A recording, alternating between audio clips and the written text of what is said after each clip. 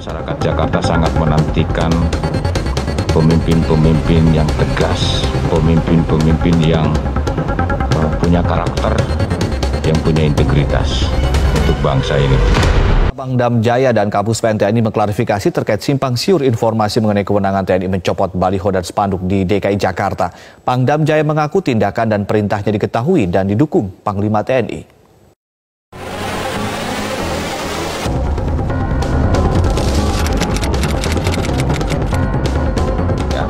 Proses penurunan baleho itu tidak serta-merta TNI bergerak sendiri. Saya ini bintang dua, saya tahu aturan, ya saya tahu ketentuan.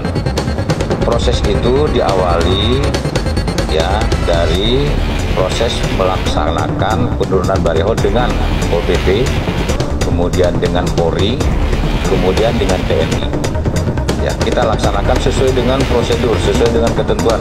Dikedepankan Pol PP karena Pol PP yang menjalankan peraturan gubernur, peraturan pemerintah di wilayah. Nah, kemudian saat terjadi penurunan sampai kita dapat 338 uh, baleho itu dilakukan dua bulan yang lalu. Silakan. Terus kemudian dari pihak FPI mendemo dan kemudian memerintahkan untuk Pol PP memasang kembali. Bayangkan coba, perintah saya, perintah saya nggak ada perintah dari mana mana, nggak ada, tidak ada. Karena saya merasa bertanggung jawab, saya komandan kewilayahan loh di sini. Jakarta ini saya yang bertanggung jawab. Inisiatif sendiri, karena memang kan masukan dari pemerintah daerah, dari polisi, pemerintah daerahnya sudah nggak sanggup, Pol PP-nya. Terus kalau sudah begitu siapa lagi? Mau takut semua kita? Hah? kalau sudah Pol PP-nya sudah ketakutan, terus siapa lagi? Nah, tugas TNI ada tugasnya adalah membantu pemerintah daerah. Ya OMSP itu membantu pemerintah daerah dan membantu kepolisian. Lah jelas dong ada permintaan.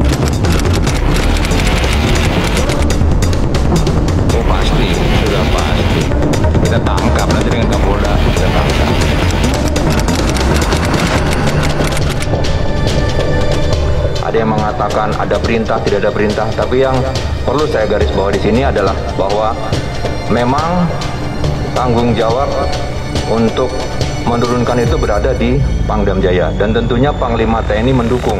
Dalam arti kata memang Panglima TNI tidak perlu mengeluarkan perintah.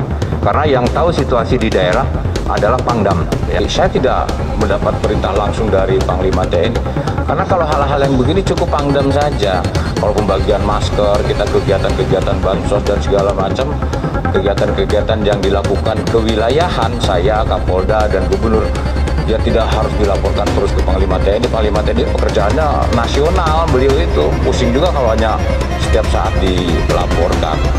Tetapi setelah kegiatan itu saya laporkan kepada Panglima TNI dan diketahui oleh Panglima TNI.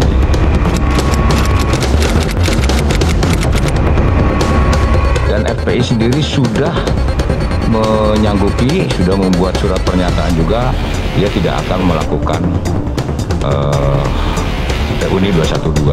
Kalau misalnya ke depannya dia sudah membuat surat pernyataan, dia kemudian langgar, nggak ada cerita. Saya dengan polisi, ya bertindak tegas, ya nggak ada cerita, nggak ada orang semaunya di sini. Kan saya sampaikan kalau perlu kalau perlu bubarkan. Kan gitu kan FPI itu. Kalau Pangdam TNI tidak bisa membubarkan itu harus pemerintah. Kan saya katakan kalau perlu. Kan begitu kan? Bukan kita yang dan tidak ada kewenangan TNI